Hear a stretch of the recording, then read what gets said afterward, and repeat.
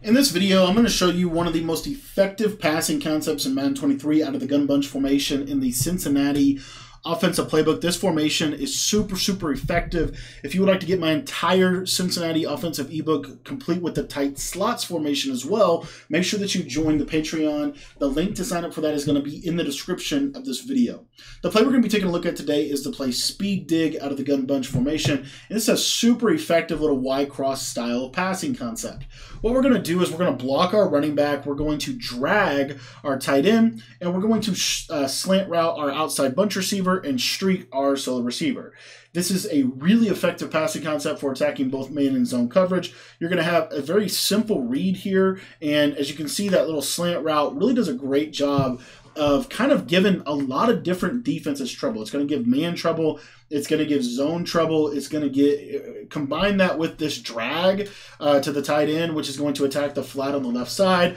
So if you think about all of the things that they have to do to stop this play, one of the things they're going to have to do is they're going to have to have a hard flat to defend that tight end, and they're going to have to do something like that. The next thing they're going to have to do is they're going to have to have some zone uh, to defend this crossing route uh, to your slot receiver. So you're going to see right here, this crossing route is super effective against man coverage as well. You're just going to freeform that to the outside, uh, and you see that a lot of times it's going to get open. Sometimes it gets KO'd, but everything sometimes gets KO'd in this game, to be honest. Um, so again, if it's man or zone, this is a really effective play because they're going to have to choose. Am I going to guard the crosser or am I going to guard the slant?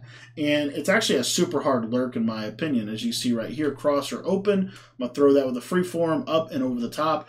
And then if they use if they choose to use the, the, the crosser, another little thing that we haven't hit on yet is the fact that not only do they have to have some type of hard flat coverage over here, they also need to have safety help if they're playing press man. If they're trying to play this and press man, and you have the short out elite ability on that outside or that solo receiver, you're going to see that he's going to light up and he's going to get this kind of glitchy animation that's going to allow him to separate against man coverage over the top. So as you can see, we're able to attack man coverage in a couple of different ways that leads them to have to do something to get safety help over the top uh, for their defender. And they could it could be something as simple as this right here, uh, but they have to do something to, to, to, do it. The next thing is now they have to use the crosser. So in this example, just going to showcase the idea of them using that using that crosser and what that's going to look like.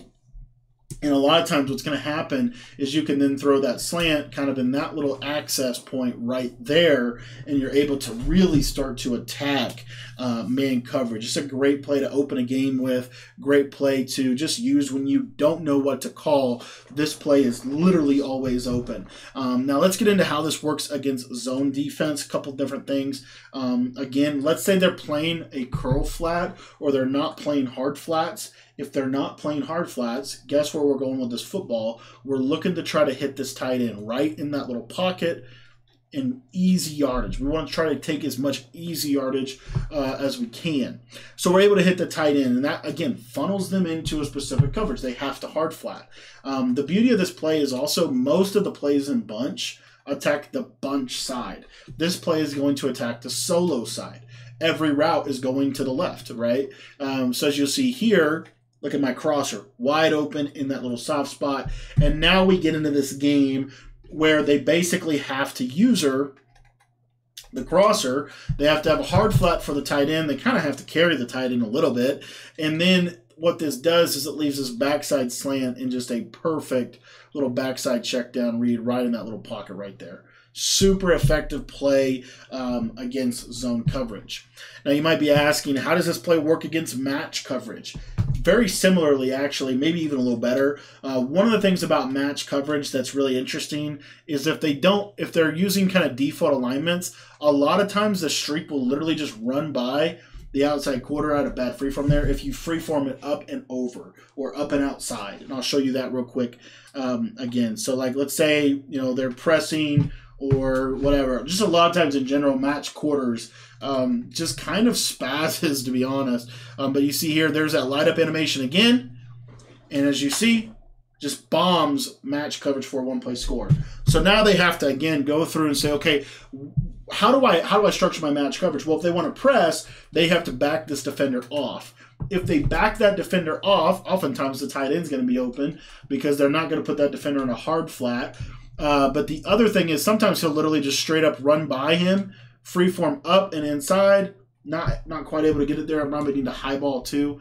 Um, if you guys didn't know, if you highball when you freeform it, um, sometimes that can that can help this a little bit. So the point is, if you see match and you see one on one on that outside, at least give it a look. If he has a step, give him a shot. If he doesn't have a step, don't throw it. Or if it's riskier, if you have other stuff.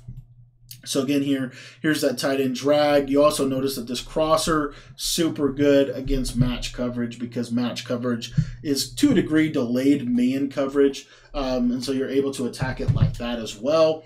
The other thing is don't sleep on this tight end route. This tight end route, when he crosses the field, a lot of times will be able to out leverage the quarter flat, as you see right there.